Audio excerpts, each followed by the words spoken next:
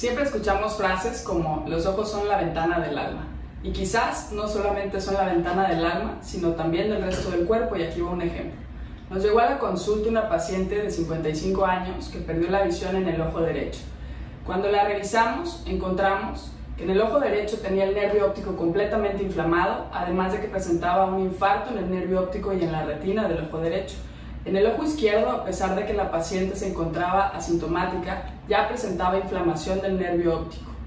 Le hicimos de manera urgente exámenes de sangre, donde detectamos que además la paciente presentaba una inflamación muy importante en todo su cuerpo.